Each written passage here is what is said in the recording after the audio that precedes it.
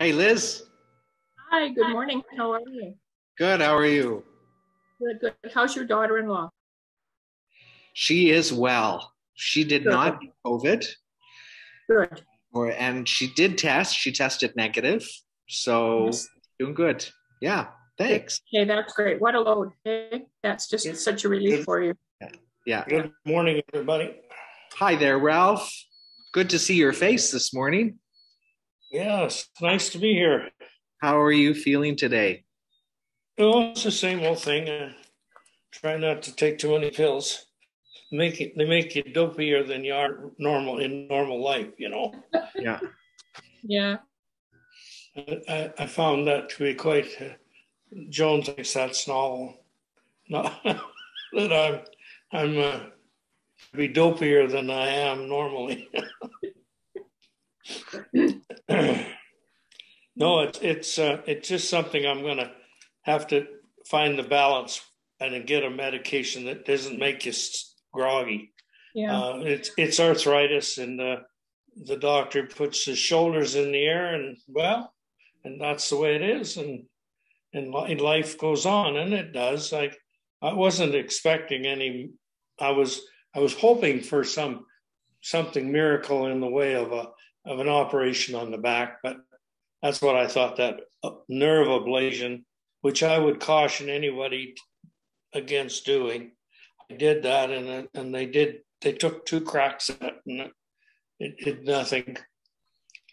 Absolutely nothing. So here I am.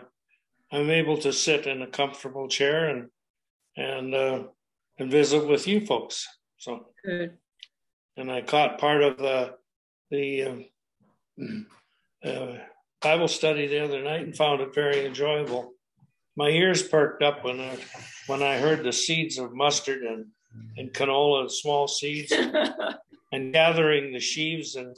and uh, uh, I took it. Uh, it was it was quite a s- quite a story. Jesus talks quite a bit about agriculture. He does, yes. Well, you know, when you think about how much people, how much the, how much is, how many people are involved in rural agriculture, feeding the world, they don't just feed our backyard here. My goodness, the grain that's trucked off the prairies by by train and truck is unbelievable and uh, it's uh, it's nice to see uh, an appreciation of that. I'm going to leave the two of you for just a minute, but I'll be back shortly.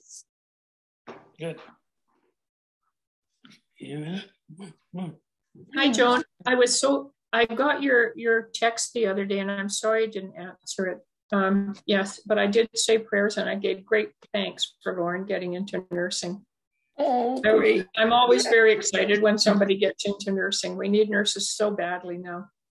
That's right. You know, it's And for, well, and for them to choose to go into nursing too, Yes, you know, yeah. she surprised us. Yeah. Yeah. and it's We so have to- costly, you know, and that that prevents a lot of people from going into it too. You know, I think We you know, need to have a very, serious very health, costly. a serious healthcare system would be appreciated with respect to wages and working conditions Yeah, relative to teachers and um, healthcare nurses uh, yeah. and doctors and all the like.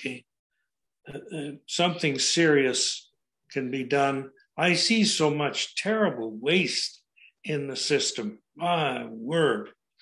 So eh, something needs to be done. Well, I'm so glad she got in though. Well, that's right. You know, the, the bar is quite high. She had to have an average of 85. Yeah. Oh, it is. It's very high. It was very high when I went in too. You know. You know what? There, um, there was well over five, four hundred, near to five hundred applicants for our class. You know, when I I got in, and I know too when I did my refresher course, I think there was four hundred and fifty applicants for it, and there was only eighteen of us that got in. Oh my goodness. Yeah, yeah, it was. And that was the first refresher course they'd had in Alberta. So that was that's um just trying to think. That was in the 70s, in the later 70s, you know, 77 around in there. How are you? Wow. Thank you for not leaving me alone. the parking lot's getting kind of full out there. We need a volunteer to direct Nope. traffic.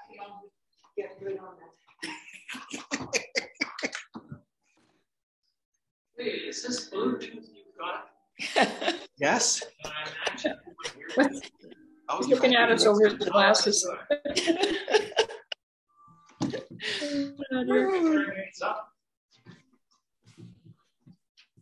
I wonder if anyone else will come on with us. Well, it looks like Rosemary and Arnie are coming on. Yeah, I've got them Good, here. good. There we are. There we are. Good morning. Morning. Morning, Arnie. Oh, Morning, Rosemary. Oh, She's not, he- oh, here, here she comes. Oh, there she is. I can see her. I was trying to put the sound down. Okay, there there you go. I Morning. just put my hearing aids in to get the sound up. Oh, I haven't got them in. I better put them in.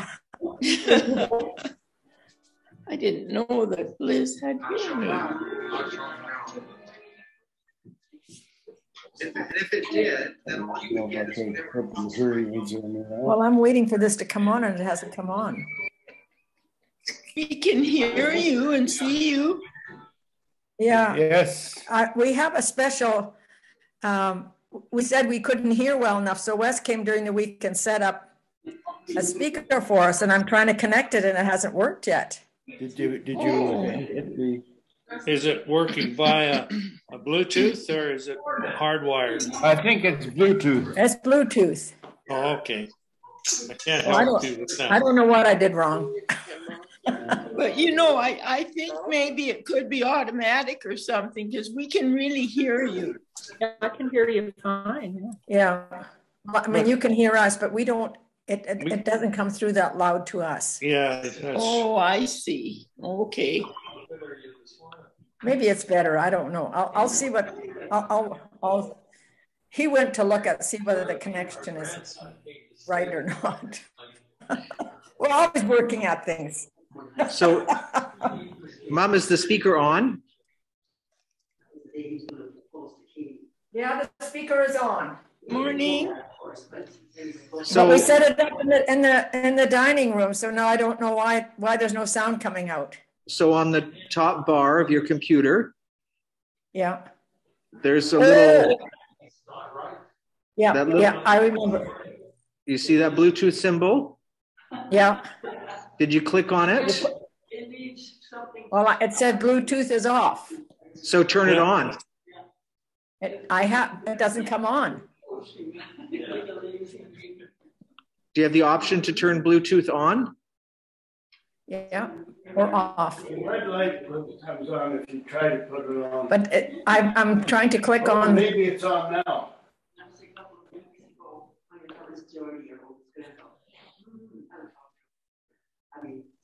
let's so, don't worry about it. Oh, I was so excited you were going to be able to hear well this week. Well, uh, you know, I've got it all set up in the living room or dining room here, and I don't know. I was annoyed about what happened on Thursday, so I put the Bluetooth off on my iPhone. Would that have anything to do with it? Yeah. Oh, it might. Yeah. Okay, okay, I'll go back and do work on that. Okay. Don't, don't call your meeting about it. We'll keep Yeah. going. When I'm at your place sometime this week, then we'll look at it again. Thank you, Wes. Okay. it say push out. Pardon? It said push out. I'm just going to run to the back and ring the bell while Pete and Elsie are chatting with Elaine.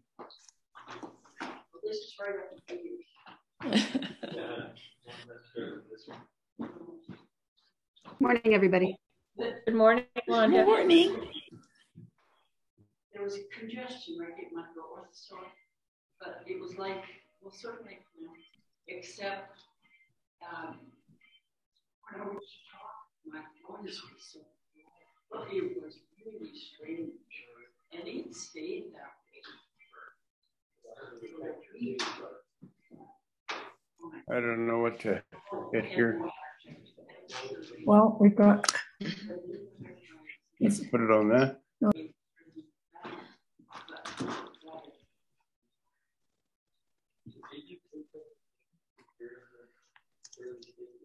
Good morning, everyone. Good morning. We definitely are lopsided today. We're very lopsided today. We're lopsided in two ways. I only have to look at one side of the congregation because it's only people on the left. There's nobody on the right. And there's more people, far more people on Zoom than there are inside the sanctuary. So no, no, no, no, no, no, no, no, no. That's fine. But I Well, just that's- want everybody to be able to see how full the part- sanctuary is. Pete, Nelsie, and Elaine didn't leave me alone.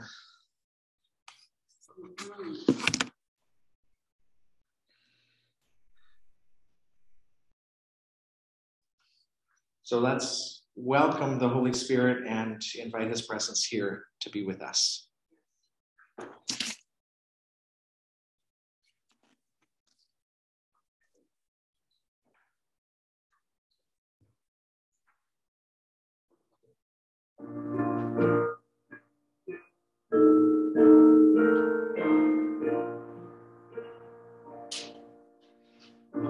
Art Bala.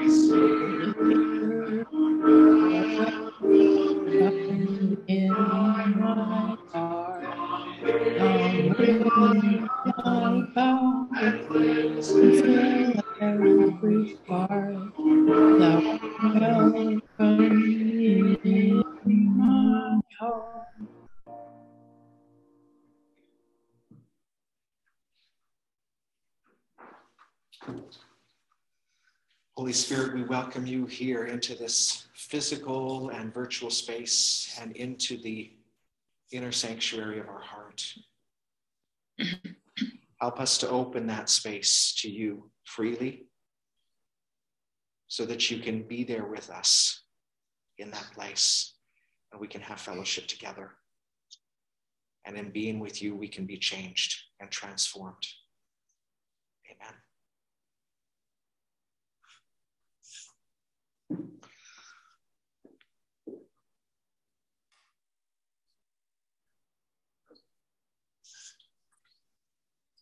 I hope that you can see things on the screen, people on Zoom. Thanks, Dale. Let's, I will read the affirmation and then I will put the petition up after it. And the petition is something that we can read all together. I've put the uh, television in the sanctuary on mute, so we won't all be disturbed by all of your voices coming at different times, but everybody will feel like we are saying it together. Okay? The affirmation. The beloved of the Lord Of rests Lord in safety. The high God surrounds him all day long. The beloved rests The beloved between rests his between shoulders. his shoulders. And now together. Hear my cry, oh O God. Oh Listen to my prayer. From the end of the earth I call to you when my heart is faint. Lead me to the rock that is higher than I. For you are my refuge, a strong tower against the enemy. Let me abide in your tent forever. Find refuge under the shelter of your wings.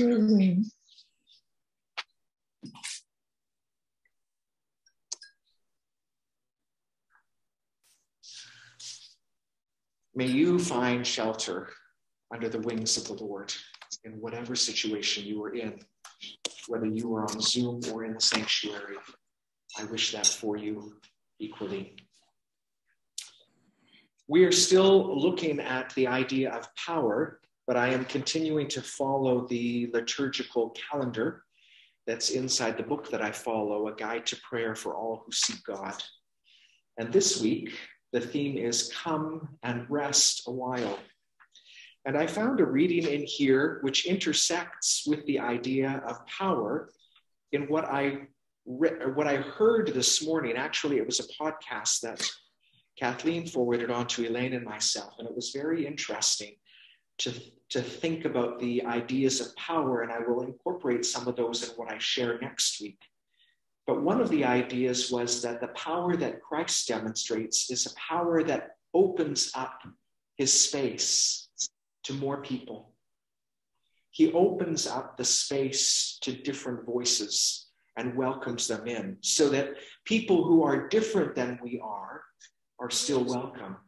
Rather than closing the space and making the space singular for people who are like us. So Jesus doesn't close the space, but he opens it up. That's what he does with his power. So there is that theme in this reading that I've chosen for today, and I thought that's why I would share it with you. Spirituality includes seeing our work as more than making a living, as important as that is.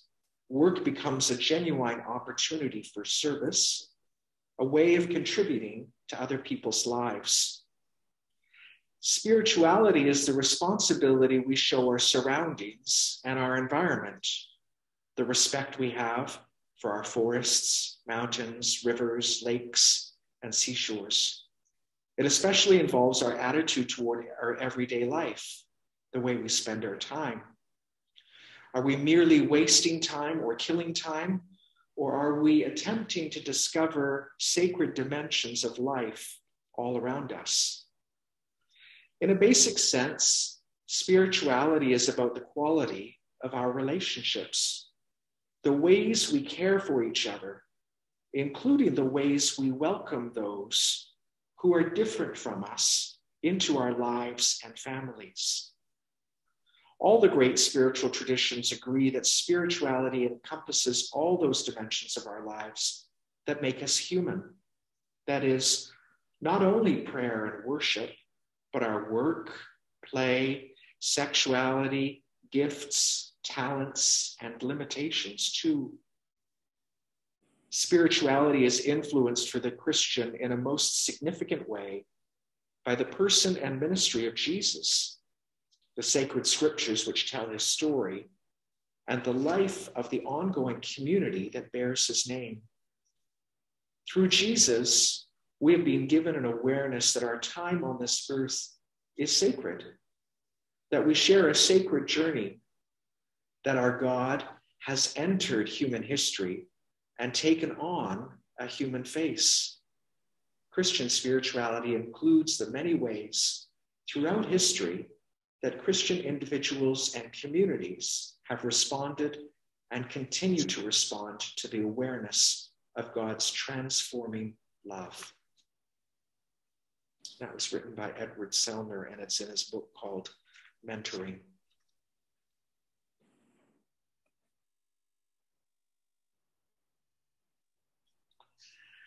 I'm always looking to try and incorporate hymns that are related to the texts and the messages that we're, the themes that we're following. This is a hymn that was written by Charles Wesley, and it would be familiar to, I think, several of you.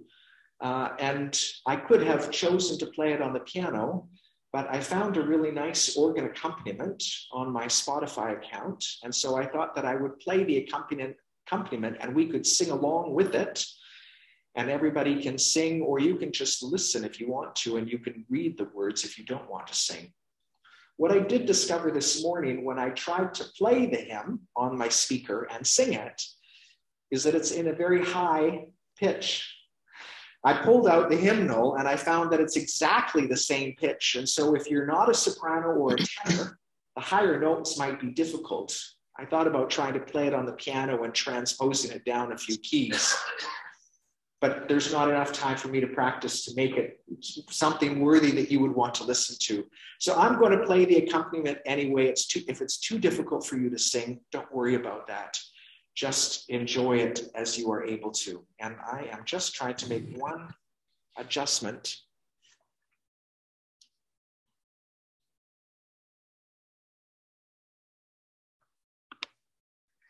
just making one adjustment on my screen because it impacts the recording and I don't want the picture that I've got on my computer to cover the words for people in the recording. So let's hope and pray that this all works well together again. There's a brief introduction and then the organ plays all four verses. And for those of you who are interested, the tune is Beecher. There are several tunes that you could sing this hymn words to by Charles Wesley, but uh, I've chosen this one. Thank you.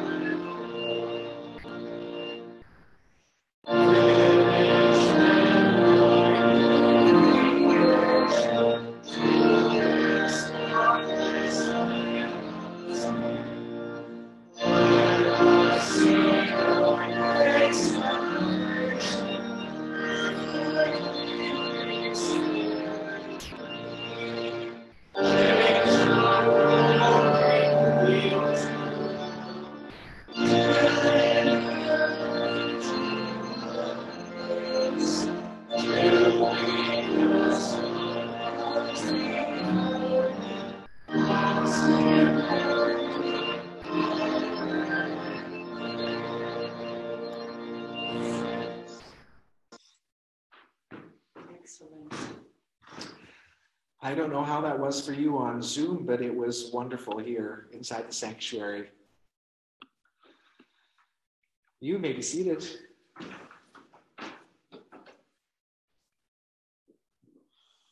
So we're going to go into small groups again. Uh, I will create the groups for Zoom in just a moment. Uh, before you go into your small groups, one of the things that we're going to touch on today in the sermon is the word of beginnings. Beginnings. So I wonder have you begun something new recently? Or if you haven't begun something new, what's the first beginning that you can remember in your life? the first time you remember something that was the beginning of a series of things that happened. So either have you begun something new or your first beginning you can remember.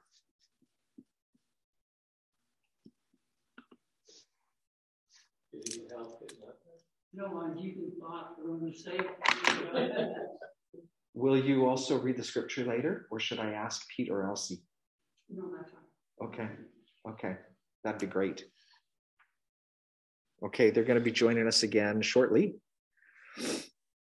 There we go.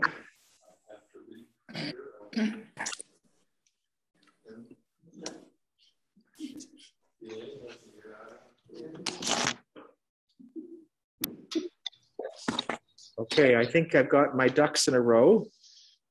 My TV is not muted, so I can hear the people on Zoom. I've got my list of the different groups.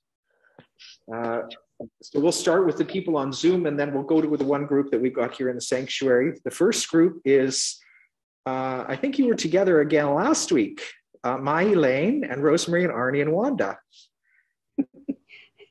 yes, we were indeed. Wes.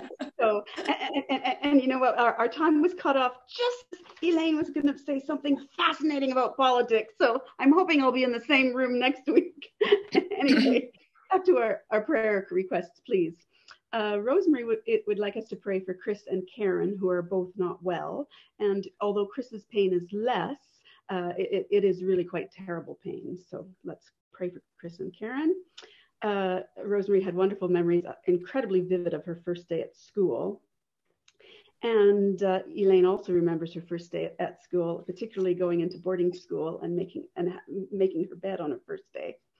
We'd like to also pray for this uh, convoy of truckers and pray that there that is, a, uh, always a peaceful protest, peaceful and respectful. We'd also like to pray for our leaders in Canada uh, we are having a conversation that justice is a, is a Christian value. And I think some, some of our uh, leaders in Canada may certainly need a little support from above. And I'd like to pray for the Patel family, who was the tremendously unfortunate family who froze in Manitoba trying to cross the US border in minus 30 degree weather. And I pray that it never happens again and that uh, we, everybody involved, um, takes a step back and thinks about what they're doing. Horrendous situation. And I'd also like to pray for all the snowbirds and the travelers this time of year. And I'd like to pray for the 4 Hers who are all busily preparing their speeches for next Saturday when they give their speeches. Thank you very much, Wanda. And the next group is Brenda and Joan and Ralph and Jordan. Yes, um, prayers for Lori and uh, and Neil. Uh, both of their first cousins have been diagnosed with cancer. Jen is 51 and Bill is 64. And prayers for Evelyn Winkler, who is home from the hospital and her daughter is there looking after them and we'll pray for a, a, speedy recovery for her. She had her elbow operated on. And Brenda prayed for, for peace, for all the unrest that's in the world right now.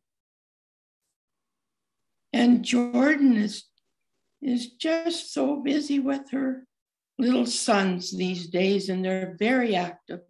Prayers for her to have of patience. And for Brenda's son, Austin, who, who is still healing from the, the motorbike accident. And uh, the new beginnings, Ralph and I had a new beginning when we moved here. And uh, we have prayers to fulfill God's calling, to feel that we're needed and to meet the needs of, of others too. And I believe that's our prayers today. Thank you very much, Joan.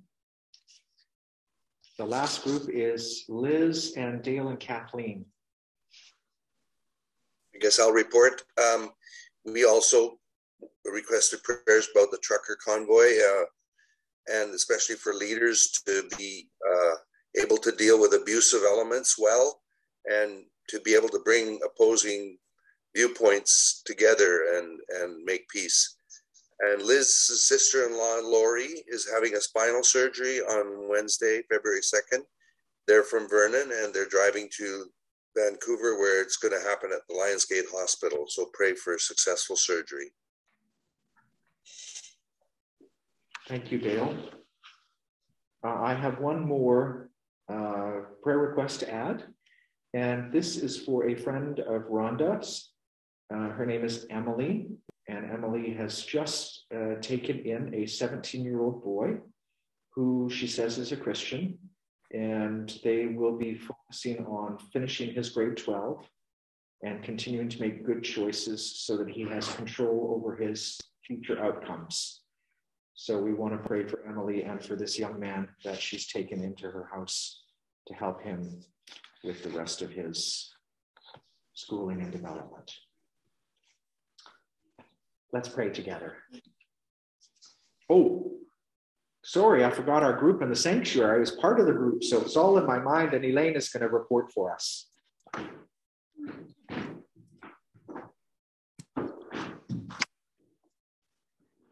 Yes, our group uh, also have the uh, truck convoy in our prayers that uh, the Lord will just enter into that that whole uh, uh, situation and uh, and new beginnings. We had quite a discussion about um, marriage, what a new beginning that is, and motherhood, and um, and diaries. A new beginning for me is always uh, starting a, a new year in a diary, but also starting a new five-year diary. it's uh, it's wonderful to be able to read back on new beginnings and and um, prayers for uh, for new beginnings, new relationships uh, in our families. That uh, that these are so uh, are so important today. And I I believe that was all. Thank you. I think so. No, you can go ahead and sit because I, I might, you know, I don't know how long I'll pray. Elaine agreed to read scripture, so she's going to come back up in a, in a, in a little bit, but let's pray together and she can sit then while we pray. Heavenly Father, thank you that you make space for us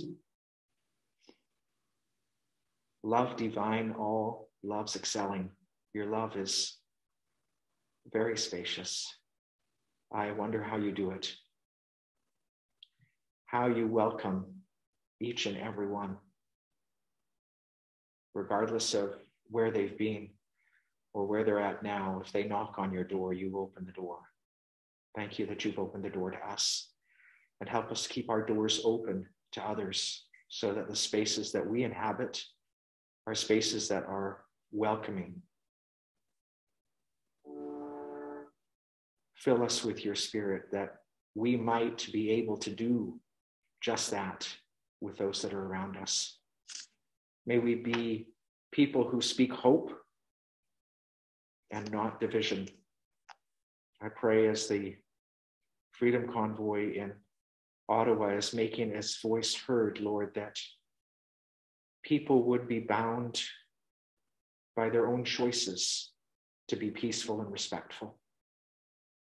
I pray that you would give the civic authorities and the police their wisdom as they might deal with people who have opposing viewpoints and maybe some conflict, oral conflict, maybe even abusive elements. I pray, Lord, that you would help to keep people's temperatures to a place where they can listen to each other and not speak so loudly and so hotly that they get out of control. I pray that justice would be served, Lord, that you would help us to do our part in trying to make justice a reality, and that you would also give wisdom to the leaders in Ottawa, the leaders in our provinces, the leaders in our cities, the leaders in our communities, the leaders in our homes, Lord, to work for justice in all of those places. The leaders in our place of employment, that they would also seek justice.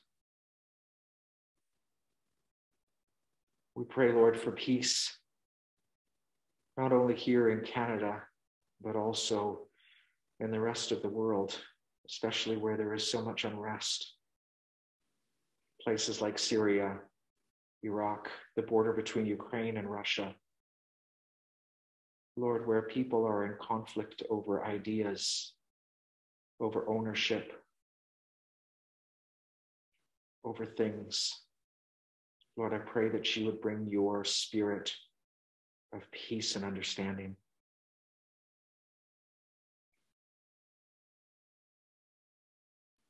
Lord, for those who have left difficult places like that to try and find more peace for their families, I pray that you would give them perseverance and wisdom and strength.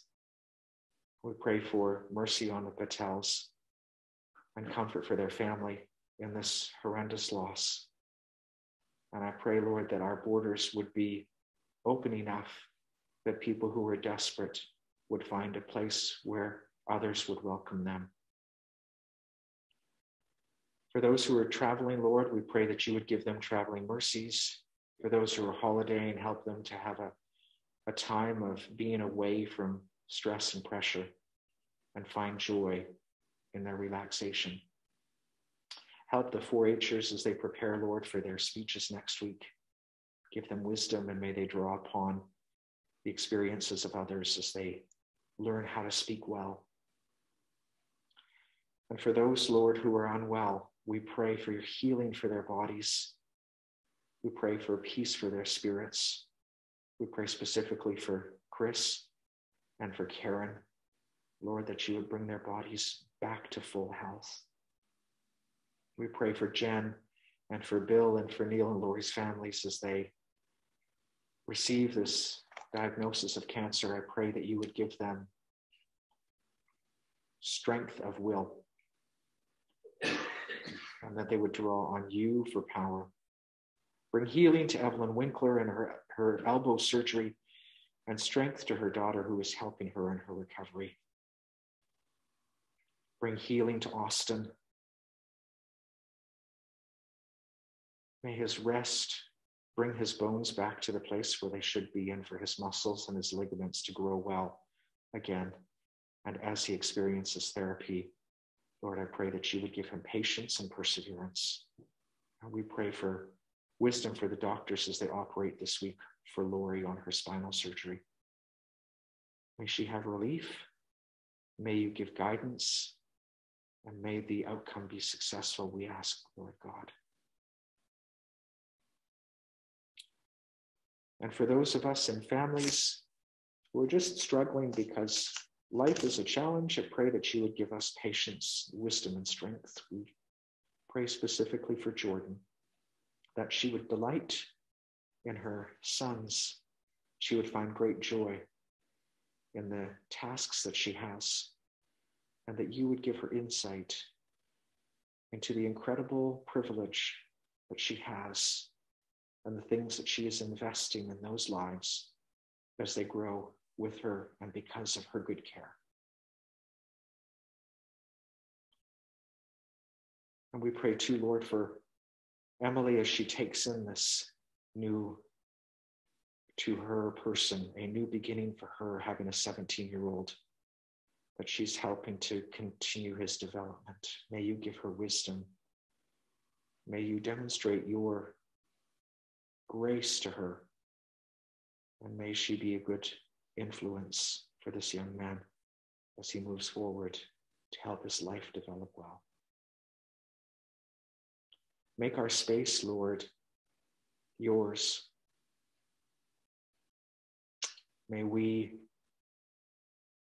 may we revel, Lord, in the fact that we are in a sacred space when your life is with us and when we are connected to you, and that we don't have to find a separation between the sacred and the secular, but it all comes under your authority and your guidance. We're grateful for how you have been with us and will continue to be with us. Amen.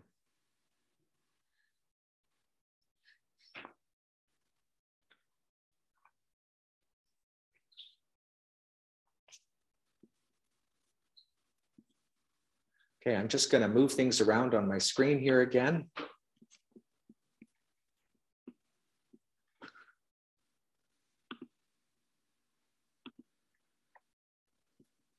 going to go back to sharing my screen.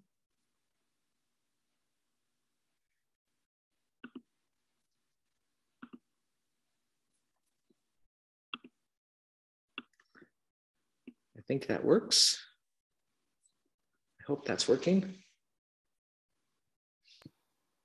Let's read our mission statement together. Please stand with me. I am a child of God. Therefore, I am somebody. The power of Christ is within me. This week, I chose something that is not the Apostles' Creed for us to recite. It's very short, but this is a part of Christian history, and scholars are not clear on when this became a part of the Christian church. But it's just an opportunity for us to be able to declare, declare glory to God. So let's read this doxology together. Glory be to the Father and to the Son and to the Holy Spirit Spirit, as it was, as in the beginning, in the beginning is now, is now and ever and shall, ever shall be, world, world without end. Without end. Amen. Amen. You may be seated. I hope that gives you a sense that you are part of something much bigger than just us here in Dalemead. For those of you who want to give to the church's needs, I think you already know these things, but I just put them here for your reminding. And Elaine is going to come forward and read the scripture. Is that good? You can take your mask off, I think, to read. And um, well, let's go. You can, yeah, you better come from here because then the people on Zoom can hear you better. And I'm just going to have to, let's see, should we try this? That's perfect. That's fine. Okay. I'm just going to have to forward the screen when we need to. Hebrews chapter 1, verses 1 to 13. God, after he spoke long ago to the fathers in the prophets in many portions and in many ways, in these last days has spoken to us in his Son, whom he appointed heir of all things through whom he also made the world. And he is the radiance of his glory and the exact representation of his nature, and upholds all things by the word of his power. When he had made purification of sins, he sat down at the right hand of the majesty on high, having become so much better than the angels, to the extent that he has inherited a more excellent name than they. For to which of the angels did he ever say, You are my son? Today I have fathered you. And again, I will be a father to him, and he will be a son to me. And when he again brings the firstborn into the world, he says, And let all the angels of God worship him. And regarding the angels, he says, he makes his angels winds and his ministers a flame of fire. But regarding the Son, he says, Your throne, God, is forever and ever, and the scepter of righteousness is the scepter of his kingdom. You have loved righteousness and hated lawlessness. Therefore, God, your God has appointed you with the oil of joy above your companions. And you, O Lord, in the beginning laid the foundation of the earth, and the heavens are the works of your hands. They will perish, but you remain, and they all will wear out like a garment, and like a robe you will roll them up. Like a garment, they will also be changed. But you are the same, and your years will not come to an end. But to which of the angels has he ever said, Sit at my right hand until I make your enemies a footstool for your feet? This is the word of the Lord. Thanks be to God.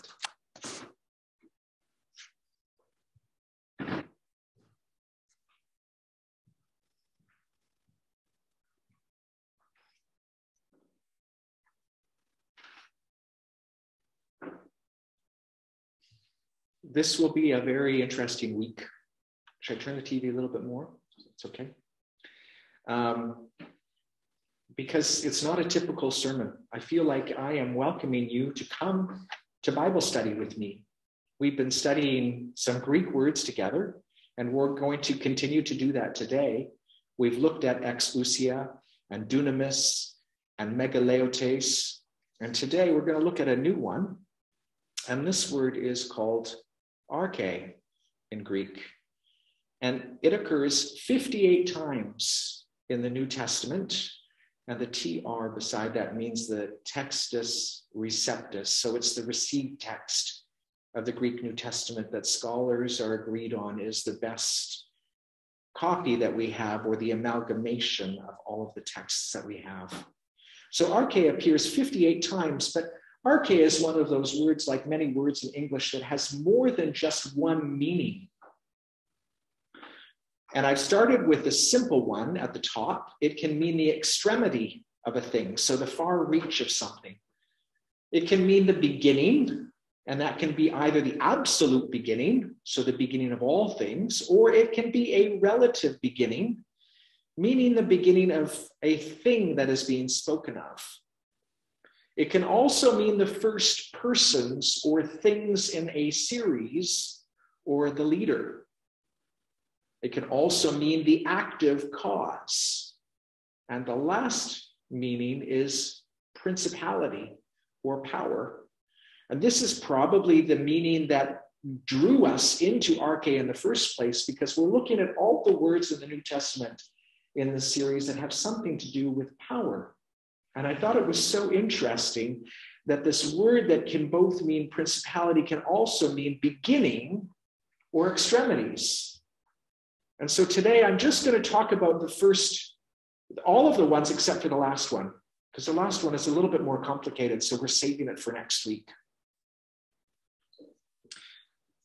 Part of what I do when I do word studies is to create these wonderful pie charts. No, that's not what I do, is to find out these meanings. So, in addition to just knowing those meanings, this pie chart represents how many times of those 58 times in the New Testament these definitions are used. So, the, the larger the color, the more time that word is used by that particular definition. And you can see up at the top this orange is very small. So the meaning for arche of the extremity of something only appears two times in the New Testament. Down here, the yellow one, uh, which is the active cause of something, only occurs once in the New Testament. Principality that we're going to talk about next week occurs 16 times. The idea of arche being first in a series shows up seven times in Scripture, but beginning seems to be the greatest meaning that the word arche is used for 16 times as an absolute beginning and 23 times as a relative beginning. Now, some people might think, oh, this is just fanciful little trivia. And maybe that is, maybe I'm a little bit obsessed sometimes with a trivial pursuit, but I think it also helps us understand what is significant for the Bible if they're using it many times or if they only use it once. And that might color how we leave Scripture, what our impression of what Scripture is teaching us. In addition to the definitions of the word arche, we can also ask who uses this word? Because the using of the word by particular authors can also color what we understand about how that word is used. For example, Elaine might always use the word diary, diary, diary, diary, diary. That tells us something about Elaine. And Pete might always talk about the wheat and the fields and the barn and the cars. And Elsie might always talk about her children and how wonderful it is to be a mother. That tells us something about those people, but it also might tell us something about the meanings of the words that they use and that use coloring their definitions of those words. So I put on here a little bar graph which shows you where sometimes this word arche is found in scripture. Now, those of you who are really quick at this will realize that arche is Greek, and the New Testament was written in Greek. And on the far left, I've got the Torah and the writings which come from the Old Testament. And this is because there is also a Greek translation of the Old Testament, which I've referred to in the past before as the Septuagint. So there are a few uses of the word arche in the Septuagint in the Torah, which is the law, the first five books of the Old Testament Genesis, Exodus, Leviticus, Numbers, and Deuteronomy. And then three times it's found in the writings. The writings are the books like Job and Psalms. So they're not the prophets, but they're more the historical books and the wisdom literature. But I'm more focused, of course, on what's in the New Testament. So you can see there is some use of it in Matthew, there's more in Mark, less in Luke. John uses it more than the other gospel writers. Then we got the book of Acts, which is written by the same author as Luke. So you could put those two together. But then you look at Paul, and something jumps up at you that Paul is using this word more than anybody else in the New Testament. It's also a significant word to some degree in Hebrews just mentioned in Peter, but John, these are the epistles of John. And the epistles of John, we believe, are also written by the same writer as the Gospel of John, the beloved disciple of Jesus. And so it's interesting because we could put that orange for John and the red for John together, and they would almost equal Paul's use of the word arche. Jude mentions it, and then it's also found four times in the book of Revelation also written by John. Very interesting. John uses this word arche, and Paul uses this word arche very significantly. And the way that they use it and the meaning that they use it for is also significant in our understanding of that word and of what it means. So, in the book of Acts, and this is the word arche, which means the extremity of something, the word arche happens twice, but it's referring to the very same thing. It's referring to this dream that Peter had, where a sheet came down from heaven, held by the four corners. It's usually translated as corners, as you can see in this translation. He saw heaven opened and an object, something like a large sheet, descending, being let down to earth by its four corners. Well, that word for four corners is the extremities. So it's the far part of the sheet was held out, and the sheet came down, and there were animals in it. And if you're familiar with this dream of Peter's, the significant thing is that God was telling to Peter things that had been unclean in the past are now clean. And it was really a metaphor for Peter to understand God is welcoming the Gentiles into the kingdom of God. Anyway, we're going to find a lot of these little rabbit trails as we go through arche and how it's used in the New Testament but try to find some application uh, at the end that's significant for us. Now I'm going to move on to talking about beginnings, and we're going to start with absolute beginnings. And I'm not going to show you all of the references uh, where this word is found, because that would put everybody to sleep, including myself. Uh, but just a few that I selected that I thought were, were very, very interesting. The book of John begins with this verse In the beginning was the Word, and the Word was with God, and the Word was fully God. Now, this is very interesting, and I spoke about the Septuagint because there is a relation between John and Genesis. Because if you remember, the very first verse of the Bible talks about a similar idea and begins with the very same phrase In the beginning God created the heavens and the earth. So both of these, the Old Testament and this Gospel of John, start with the beginning, and they start with the beginning of both the Word and the Word creating the heavens and the earth. In Hebrews, this is also underlined for us, and we read it today in our scripture reading. You founded the earth in the beginning, Lord, and the heavens are the works of your hands.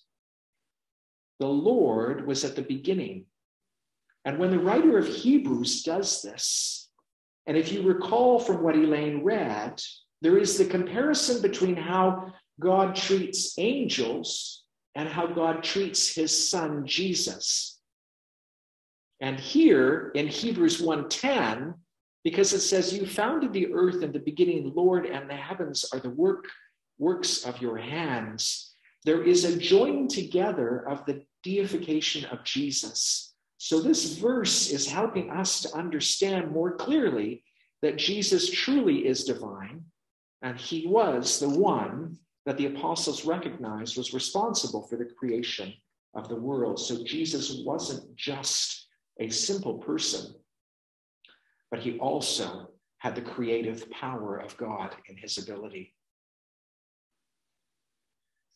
So I'm not going to read Hebrews 1 1 to 12 because we already did that for our scripture today. And then in Psalm 102, we can see this theme, which is where the writer of Hebrews has pulled these verses from. In earlier times, you established the earth, the skies, are your handiwork. So these scriptures that are written so far apart from each other in very different contexts and at different cultural times are joined together in this theme of God doing the creating. And Hebrews is demonstrating for us that Christ was at the absolute beginning of it. John, who started with, in the beginning was the Word, and the Word was with God, and the Word was God, in his epistle focuses on that theme many times the idea of the beginning. He starts his epistle with, This is what we proclaim to you, what was from the beginning, what we have heard, what we have seen with our eyes, what we have looked at, and our hands have touched concerning the word of life. And then he goes on in the rest of his epistle to talk about Jesus and his teachings. But he's saying here in the beginning, we touched him. We saw him. We were with him. But he was the one who was from the beginning. And he was the one who has created all of this. He repeats this theme again in chapter 2, verse 13. I'm writing to you, fathers, that you have known him who has been from the beginning. I am writing to you, young people, that you have conquered the evil one. And one more in John's gospel. It's not just God who has an absolute beginning, but Jesus also talks about somebody else and what their beginning was. He's talking to people that he's preaching to, and he sees they don't accept his message. People like the Pharisees and the Sadducees, saying to them, You people are from your father, the devil, and you want to do what your father desires. He was a murderer from the beginning and does not uphold the truth because there is no truth in him. Whenever he lies, he speaks according to his own nature because he is a liar and the father of lies. In John's gospel, he also, or sorry, in his epistle, he also repeats this idea that it's not just Jesus who has a beginning, and an influence, but also the devil. The one who practices sin is of the devil because the devil has been sinning from the beginning. For this purpose, the Son of God was revealed to destroy the works of the devil.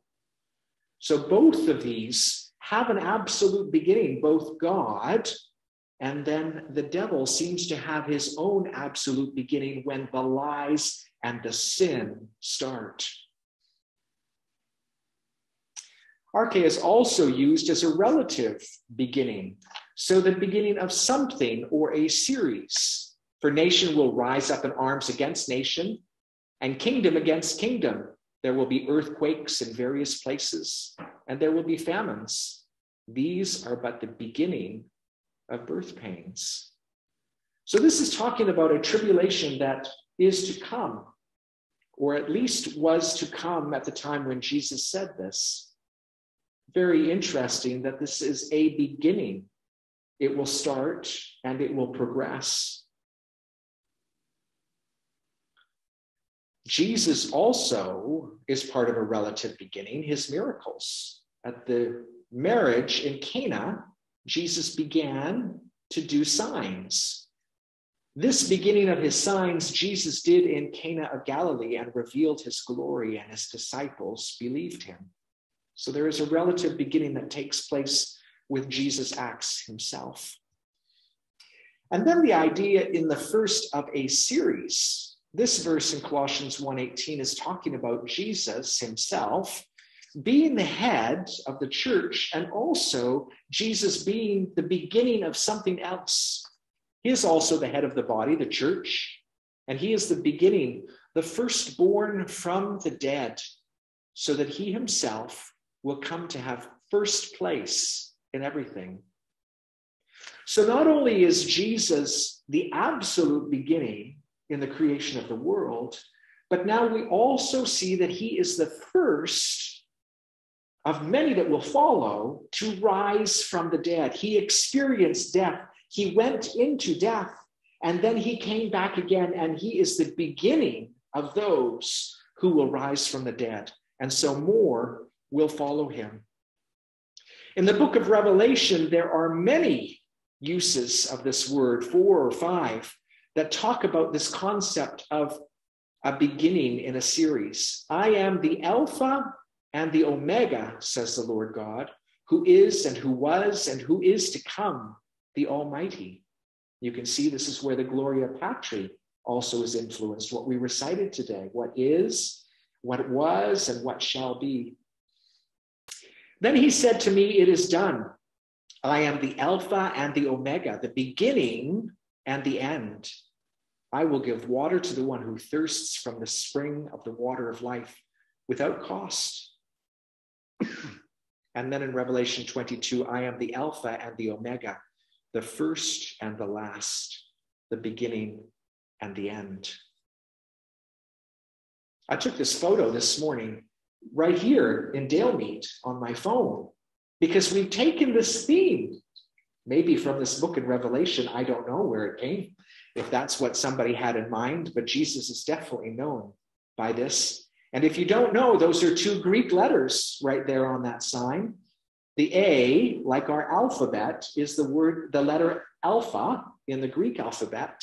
And the other sign beside that A looking letter, which is an A in English, but it's really the alpha of the Greek alphabet, is the omega, because omega is the last letter of the Greek alphabet. And that's why Jesus says that he is the Alpha and the Omega, just using the idea from the Greek alphabet that he is the beginning of it and he is the end of it. He is the beginning of everything and he is the end of everything. So we could easily put A and Z on there and just use the metaphor from the English alphabet that Jesus is the A and the Z.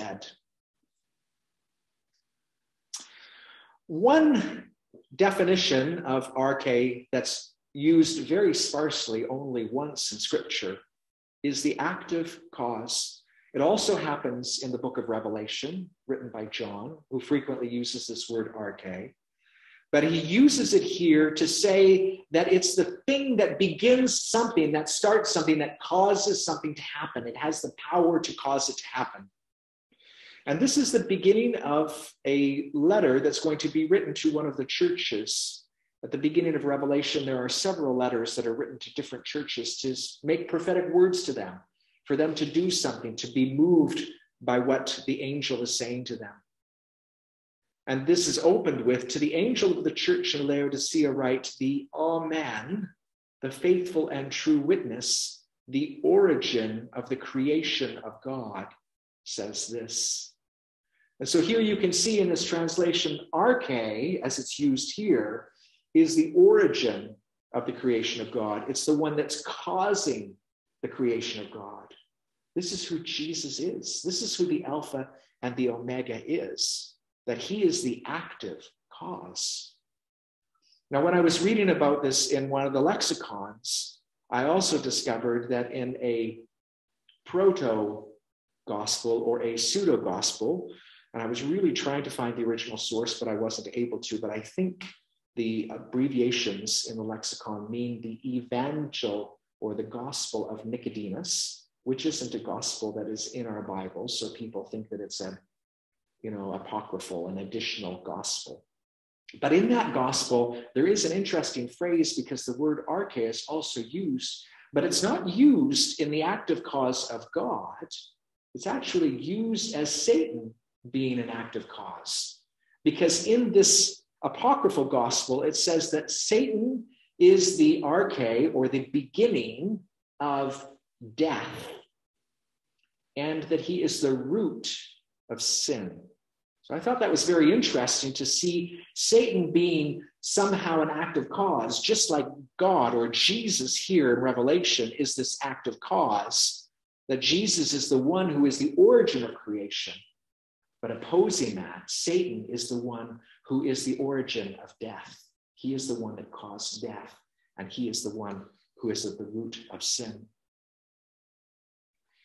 So that's my word study that I've brought you with me on today. And what I'm hoping that you will come away from this with is that Jesus is with us and has been with us from the very beginning because he is that active cause of all of creation. But he didn't just stay there, he didn't stay up in the heavens being that active cause, but rather he made his choice to come and be with us and to experience everything that we experience, and then to actually submit to death in that sense, he was submitting himself to this other seeming active cause of the devil, who was the root of sin and the cause of death. And Jesus submitted himself to that. I find this fascinating because he is the most powerful. He is the one who is greater than any other. And yet he made the choice to submit to this death. But the purpose of that was only for us. It wasn't for himself.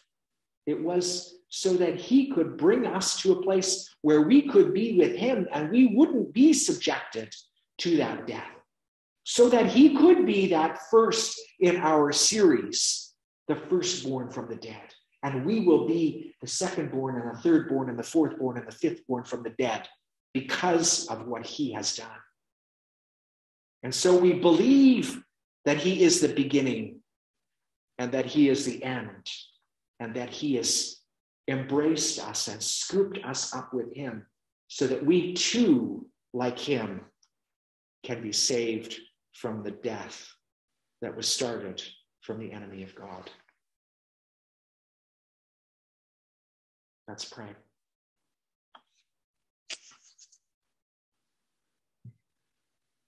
Heavenly Father,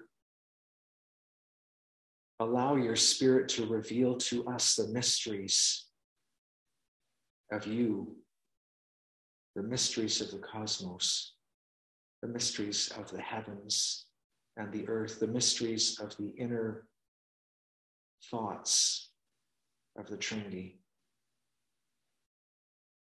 And as we come to an awareness of the fact that the one who is the active cause of all creation, was also the one who chose to submit to another power in order that we might be with him in glory and through his resurrection defeated the enemy.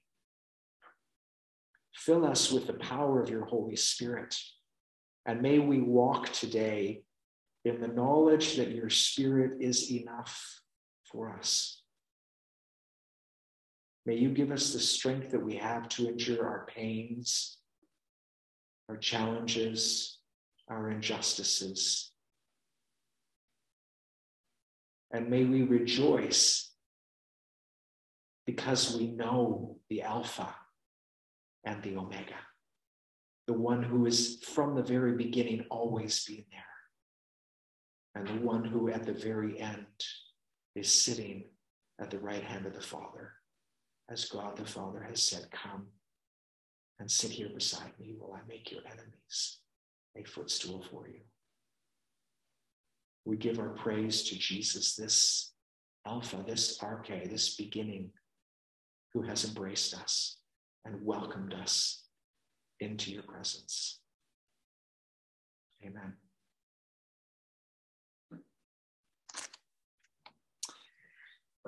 May you go this week in the knowledge that Jesus embraces you, that he loves you, that he empowers you, and that he is with you.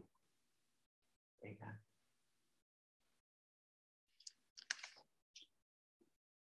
Um, a couple of announcements. Uh, just a reminder, we are going to have our annual general meeting sometime in April. I am still hoping in the month of March to make a trip to dispense eyeglasses. So I'm hoping that it will be possible depending on what the world situation is with COVID. Uh, also, I made a request earlier this week uh, to have the board support me in a professional development opportunity. Uh, I have been using a uh, survey, a questionnaire with people who get married that I officiate at their, at their weddings as a part of premarital counseling. Uh, it's called the Prepare Enrich. And what it does is it asks people questions. And in their responses to those questions, it's a fairly long questionnaire. Uh, it helps you understand how two people might come into conflict with each other or where their areas of weakness in communication with each other might come or what challenges they might face. And it's a way of being able to help prepare people ahead before they get into a marriage relationship to make sure that things will go as, as well as they possibly can. This questionnaire is also possible to be used in situations where somebody will adopt a child. So you can understand that child and the family how that gets along. And it can also be used to enrich a marriage later on in life. So if people want more guidance or counseling. Uh, and I have actually used this in the past, but not as a facilitator. But a friend of mine has uh, been a go between for us, uh, for me to be able to use the questionnaire with people who want to get married. And I'm now going to do the training of a facilitator so that I can officially be a facilitator and use this in my own right rather than having to ask somebody else to help me. So I'm grateful to the board for their support in that. Um, Wanda, do you have any other announcements for us? Thanks so much, Wes, for all, all of those good announcements. No, I was just going to share a very brief memory. One of my first memories of uh, Sunday school at Dalemead Church was with uh, Elaine McKinnon as our Sunday school teacher and Faye Gosling, who taught us about Alpha and Omega being the first and last letters of the Greek alphabet. So little memory came up throughout uh, your service today. No other uh, comments. Thank you so very much for an insightful service and everybody have a great week. Thank you so much, everybody, for being with us. I will leave the Zoom room open. If people on Zoom want to chat with each other, I will turn my microphone off so you don't have to hear us and I will mute the television so we won't be able to hear you if you want to have a conversation together. The Lord bless you all this week. It's delightful to see you.